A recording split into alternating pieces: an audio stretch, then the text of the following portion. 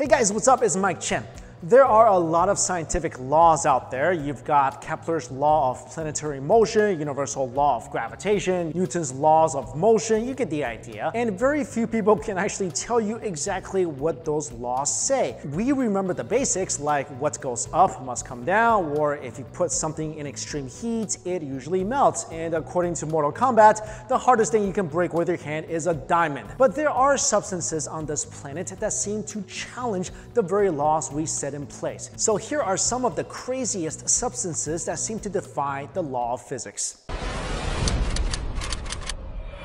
Number one, carbon nanotubes. This thing should have a letter S on its chest and live in a crystal fortress. Just looking at it, it doesn't seem like anything special. Little would you know that this is one of the strongest materials on Earth. Carbon nanotubes are true to their name as they are an allotrope to carbon. An allotrope is a variation of an element with a different atomic structure which can produce a wide array of substances from the same element. For example, another allotrope of carbon is a diamond. And what a diamond and carbon nanotubes both share in common is is a unique and uncanny strength. What really gives nanotubes this incredible force though is their sp2 bonds, which are more powerful than the diamond's sp3 bonds. Coming in next on this list, there is gallium. This is a very special element. It has a relatively low melting point at just above room temperature, which can be used in making specific alloys. This element is most often used in electronics, but what makes this element so distinct and interesting is that because of its low melting point, it's able to melt in a person's hand. So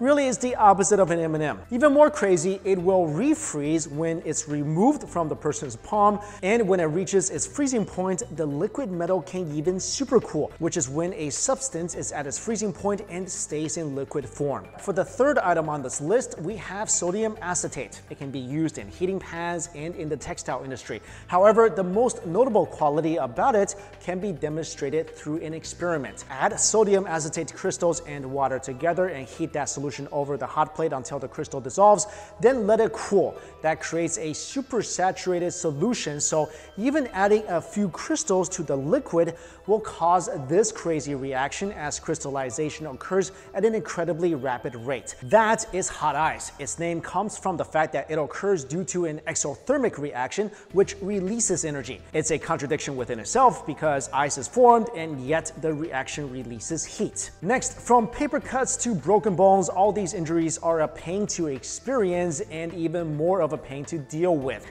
How nice would it be to just be able to automatically heal? Well, believe it or not, researchers have developed a polymer that can do just that. For number four, we have the appropriately named Terminator polymer. These self-healing polymers are able to manage such a feat by reforming any broken cross-linking bonds. This is of course difficult to create as you usually need some external external stimulus in order to begin that self-healing process. But despite this, researchers were able to create a polymer that, when sliced with a razor blade, displayed a 97% healing efficiency in two hours. Next, we all know that crazy smart kid in class that could memorize everything with that one person who for some random reason know all the numbers in pi, but apparently the skill of memorization is not just unique to people. Even metal has it as well. This is nitinol, an alloy of nickel and titanium that has both shape memory and super elasticity. Basically what happens is that nitinol can be bent into a random shape when it's below its transformation temperature. That is the temperature that determines if nitinol can be bent or if it's going to go back to its original shape. However, when it's above the transformation temperature,